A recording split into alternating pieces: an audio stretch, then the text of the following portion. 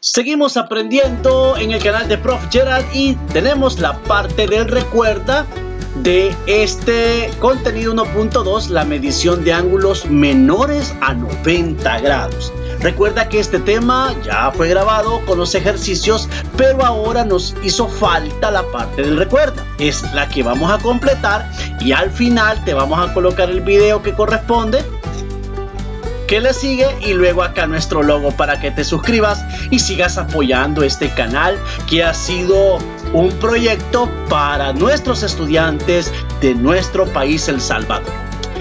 Recuerda, utiliza el transportador y escribe la medida de cada ángulo. Bueno, vamos entonces a medir con el transportador y en este momento ubicamos el transportador específicamente en el vértice de estos dos lados. Si nosotros ubicamos ahí el transportador, vemos acá, acá tenemos el centro del transportador sobre el vértice del ángulo. Entonces contamos. Fíjate bien, este valor es el valor de cero. Aquí lo que nos hacen falta son los números que están aquí por debajo. Entonces cuento. Aquí hay 10, 20, 30, 40, 50 y 60 grados. Aquí entonces sería el ángulo de 60 grados.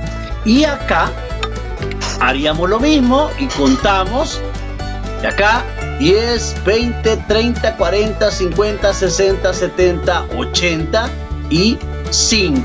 Ya que aquí es 90, entonces aquí está entre 90 y 80. Aquí está la mitad, 85 grados. Entonces lo que usted va a lo que tú vas a colocar son los grados, 60 grados para este y 85 para este. ¿Estamos? Ok, recuerda que a este transportador le hace falta los numeritos que van del 0 al 180 hacia este lado. No te, no te vayas a confundir en este sentido. Bueno, y luego vamos a la parte del comprende que nos dice, cuando se mide un ángulo se debe considerar que al medir un ángulo solo importa su abertura y la medida de un ángulo no depende de la longitud de sus lados, ni de la dirección del ángulo hacia donde se abre, ¿verdad?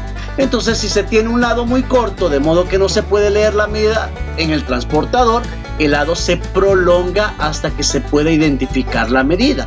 Fíjate bien en estos tres casos.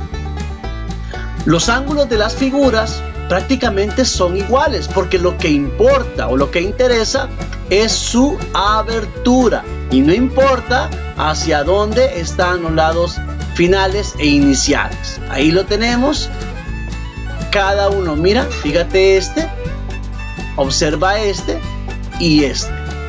Bueno, al final, acá te dejo el video que le continúa. Espero que nos apoyes y acá para que te suscribas. Gracias a todos. Seguimos adelante en el canal de Prof.